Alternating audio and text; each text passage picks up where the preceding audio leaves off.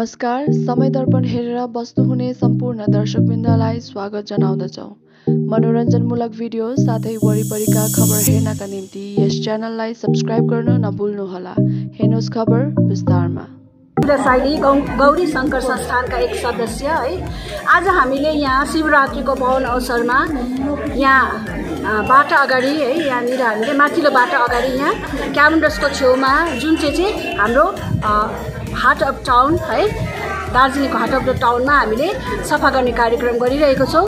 र यहाँनिर चाहिँ दार्जिलिङ हिमालयन रेलवे डिएचआर दार्जिलिङको इन्स्ट्रुमेन्ट नेपाली जातिको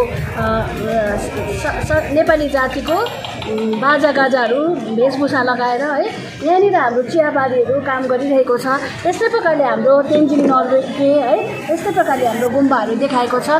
यो हाम्रो पोइन्टहरूलाई दार्जिलिङको घुम्न जाने पोइन्टहरूलाई देखाएको छ।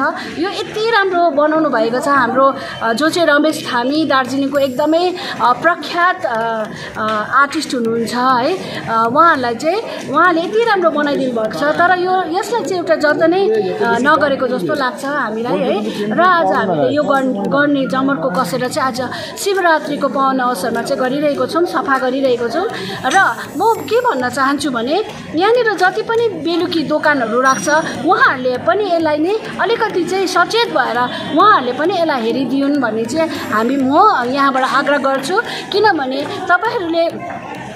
आफ्नो रोजीरोटीको लागि यहाँ गर्नु हुँदैछ ठिकै छ तपाईँहरूले होइन घर चलाइराख्नु भएको छ। तर यो जुन चाहिँ कुरा छ त्यसलाई पनि त जोगाएर राख्नुपर्छ। त्यो पनि तपाईँहरूको कर्तव्य बनिन्छ होइन? हामीले हाम्रो गौरी शङ्कर संस्थानले हामीले एक एक सौ रुपियाँ पनि भएर पनि उठाएर हामीले होइन यो रङहरू किनेर हामीले गर्ने काम गरिरहेको छौँ। हामीलाई कसैले पनि दिँदैन हामीलाई कसैले पनि अहिलेसम्म फन्डहरू दिनुभएको छैन। र पनि हामीले आफ्नो कमाइ गरेको एक पर्सेन्ट भए पनि हामीले यो गौरी शङ्कर संस्थानमा लगाएर हामीले यहाँ दार्जिलिङको धरोहर बचाउने काम गरिरहेको छौँ।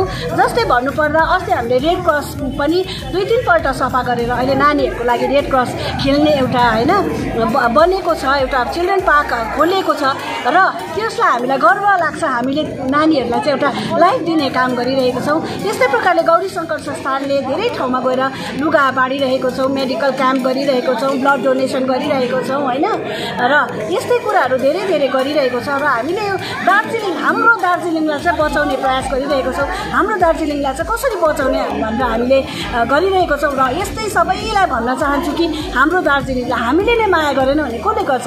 र माया गरिदिनुहोस् तपाईँहरूले है। जुन चाहिँ ठाउँमा हामी बसिरहेको छ जुन चाहिँले चाहिँ हामीलाई एकदमै राम्रो हामीलाई परिवर्तन है वातावरण राम्रो दिइरहेको छ र यो ठाउँलाई हामीले नै बचाएन भने कसले चाहिँ बचाउँछ? र सबैलाई नमस्कार। जति पनि दार्जिलिङ टेलिभिजन हेरेर बस्नुभएका सम्पूर्ण श्रोताबिन्दलाई नमस्कार है। र हामी चाहिँ गौरी शङ्कर संस्थान हामी गौरी शङ्कर संस्थानका प्रेसिडेन्ट हो। र हामीले अब धेरैवटा गरि गरि नै रहेको छ हामीले कामहरू है सेवाको कार्य। र यो जुन प्लान्टेस मुनि जुन त्यो देवालमा हाम्रो रमेश हामीले जो त्यो बनाएको थियो है आर्ट गरेको छ।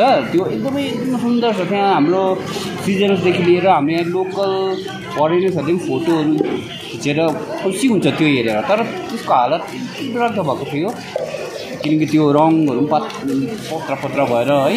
अनि फेरि हाम्रो यहाँनिर चाहिँ कस्तो छ भने दार्जिलिङमा कुनै कुरो बनिन्छ। बनाएपछि त्यसलाई गए बेला बेलामा गएर हेर्नु ओर्नु कसैले पनि गर्दैन।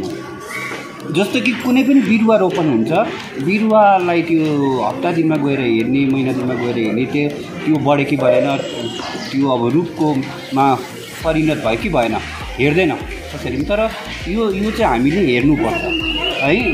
र अब यो चाहिँ हामीले अब हाम्रो दार्जिलिङ हाम्रो दार्जिलिङ प- पाहाडकी रानी भनेर भन्ने गर्छौँ। तर यो यो यो ठाउँ पनि मेन रोड हो। अब तर हामीले अब हाम्रो कुरो चाहिँ हामीले याद याद गर्नुपर्छ हो। फेरि अब यो चाहिँ हामी सोसियल गर्नेले मात्रै याद गरेर चाहिँ भएन।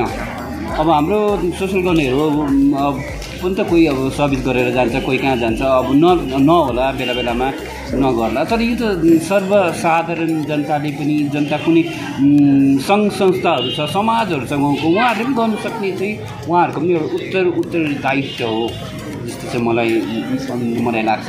र विशेष गरी चाहिँ के हो भने यहाँनिर यहाँनिर अब हुनु त म्युनिसिपालिटीले पनि यहाँ ठाउँ त दिइ नै रहेको छ।